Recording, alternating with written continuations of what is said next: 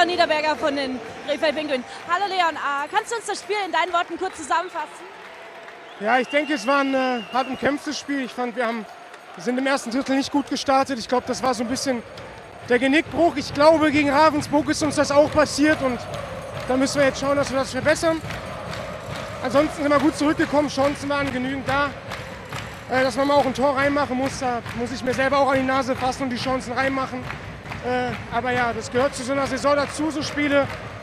Müssen schauen, dass wir vielleicht nicht jedes zweite Spiel mit einem 1 Rückstand äh, starten. Und ähm, ja, es geht besser, aber es ist jetzt keine Tragödie. Ich meine, Regensburg ist wirklich eine gute Mannschaft. Die haben Spaß am Eishockey, das sieht man. Und äh, ja, ich glaube, dass wir Freitag gut zurückkommen werden gegen Freiburg.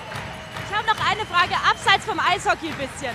Du hast ja eine Musikkarriere neben dem Eishockey unter Leo. Kommt da trotz laufender Saison noch ein neuer Song? Ja, definitiv ist auch lieb gemeint die Frage, aber ich glaube, die Ernüchterung jetzt von der Niederlage ist ein bisschen zu groß, als dass ich jetzt über meine Musik sprechen möchte. Ist lieb gemeint. Da wird auch was kommen, aber jetzt erstmal gut regenerieren, gut nach Hause kommen und Freitag dann neu angreifen. Alles klar, dann vielen Dank und viel gute Heimreise, viel Glück.